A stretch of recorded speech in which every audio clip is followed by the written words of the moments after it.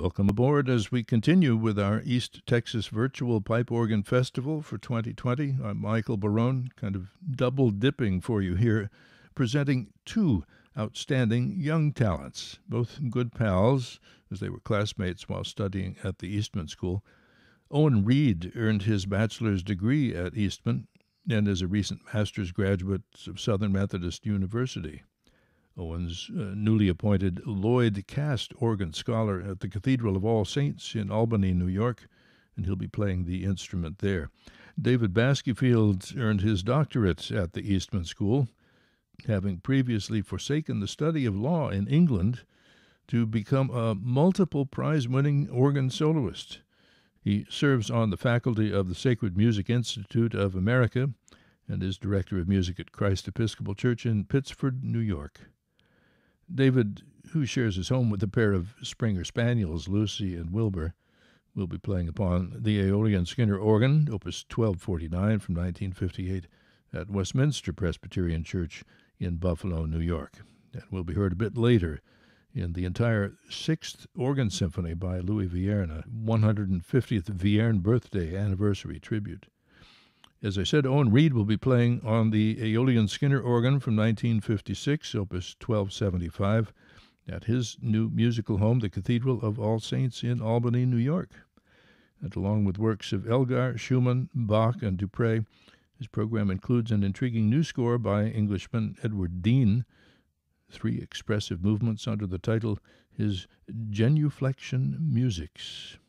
Watch for that after Bach. And a reminder that full artist biographies, program lists, and organ information can be found on the festival website, easttexaspipeorganfestival.org. Well, you probably know that, else you would not be listening to me now. Also, remember that these virtual festival events are not without costs, and as Roy Perry might say, we're rattling our tambourine in hopes that you can help defray some of those expenses. Do what you can and enjoy the music here. This is Owen Reid.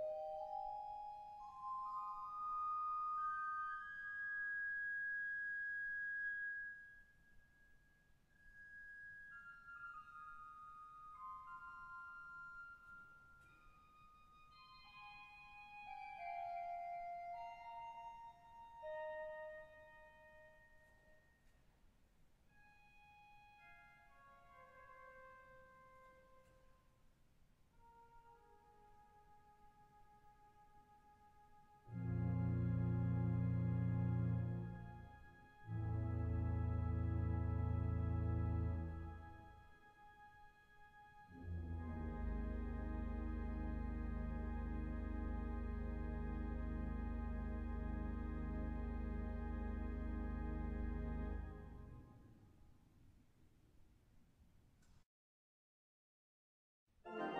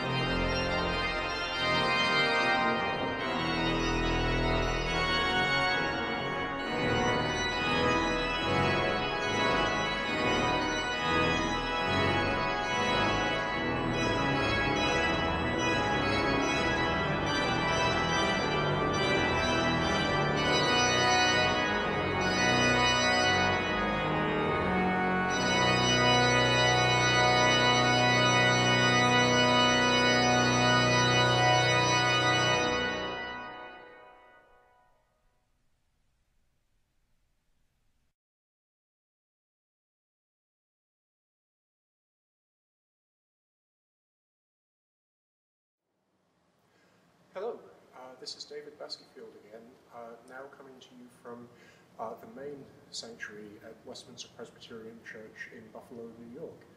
Uh, I'm sitting at uh, Aeolian Skinner Opus 1249, completed 1958, uh, the firm by that point under the tenure of Joseph Whiteford. Um, I'm delighted to be sharing a recital uh, with my friend Owen Reid. Owen and I overlapped at Eastman a little while uh, and a little while ago. And uh, since we were both there, he's gone on to some uh, very fine things. This year, 2020, uh, is the 150th anniversary of the birth of Louis Vierne.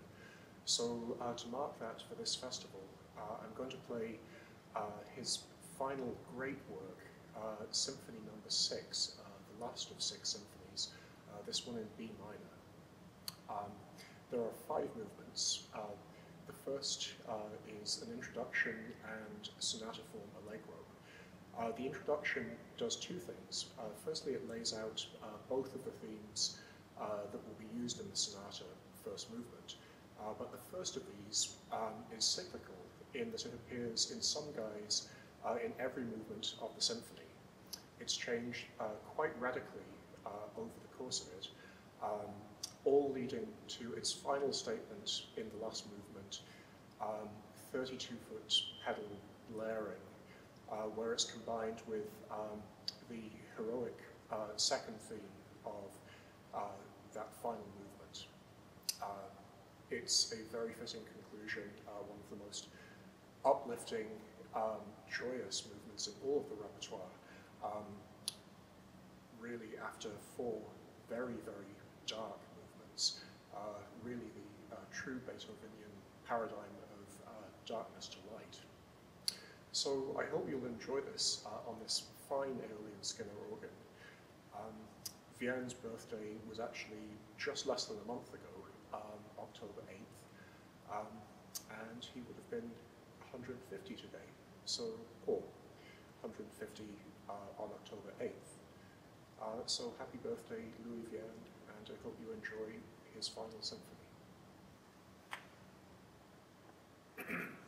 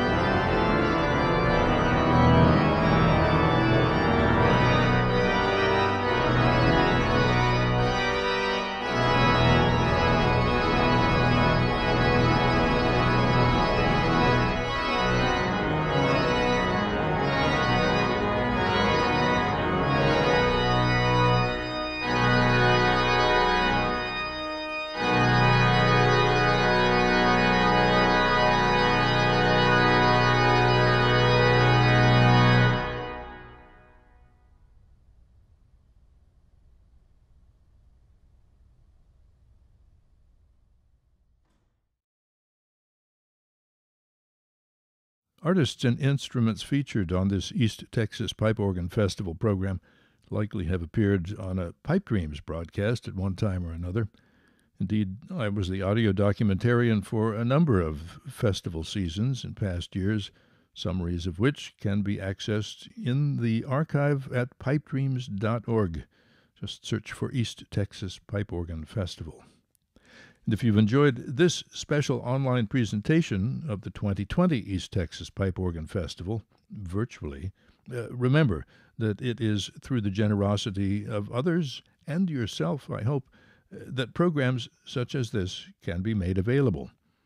Now, if you already have donated to access this program, we do appreciate that, certainly, but also encourage you to help us oil the gears for future activities of the East Texas Pipe Organ Festival machinery with uh, maybe a little larger tax deductible contribution. The website has all the information you need. Check it out. I'm Michael Barone, and I thank you for listening.